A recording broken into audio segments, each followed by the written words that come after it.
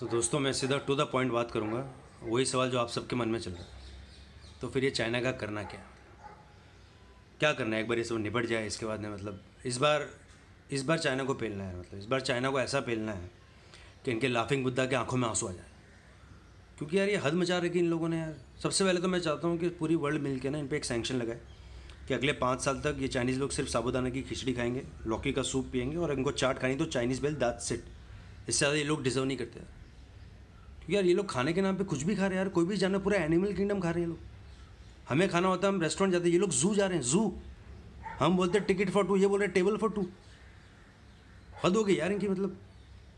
पूरे national geography को उन्होंने जोमेटो बना रखा है अब। मतलब ये कोई खाने की चीज़, आप चूहे खा रहे हो चमकादड़ खा रहे हो, केकड़े खा रहे हो, फिर वायरस फैलते हम पे आता है यहाँ पे। बताओ आप। यही फ़र्क है ना इंडिया और चाइना में। ये चाइना लोग चाइनीज़ लोगों के खाना खाने के बाद में भी पेट में चूहे दौड़ते हैं। तो एक तो इनका ये डाइट वाला किया जाए। तो इस बार माफ़ नहीं करना दोस्तों, ये क्या करना आप मुझे बताओ फिर। दूसरा इनका ये यार कि मेरा जो एक सपना था सेलिब्रिटी बनने का, मैं बॉम्बे में आया यहाँ पे, ये सोच के कि यू नो अब एक सपना है कि मैं अपना शोज़ करूँगा वर्ल्ड टूर होऊँगा ठीक है जिम सेल्फ़ी एयरपोर्ट लुक वाली सेल्फ़ी अभी मैं क्या करूँ यहाँ घर पे बैठा हूँ मैं कौन सी सेल्फ़ी डालूँ यहाँ पे? बर्तन वाली सेल्फ़ी डालूँ? पोछा मारते वाली सेल्फ़ी डालूँ? दस दिन से पोछा मार रहा हूँ मैं। इतनी आदत पड़ गई, कल नहाने के बाद मैंने तौले की जगह अपने आप पे पोछा मार दिया। कौन है इसका जिम्मेदार? आप? मैं? या वो कम्युनिस्ट चाइना बताओ मेरे को ये सेलिब्रिटी हूँ मैं। ये कौन सा सेलिब्रिटी है जो शाम को बैठ के कल मैंने दो घंटे मटर छीने इसलिए आया था मैं बॉम्बे। मटर छीलने एक तो आपको पता है मटर छीलने में तीन बाउल लगते हैं। एक में ओरिजिनल मटर, दूसरे में छिलके डालते हो, तीसरे में आप छोटे वाले मटर डालते हो। तब जाके इतना एफर्ट लगता है। और हम लोग जब मटर पनीर खाते हैं, कितनी आसानी से मटर को निकाल के साइड में फेंक दे जैसे कोई जूनियर आर्टिस्ट हो बोलो।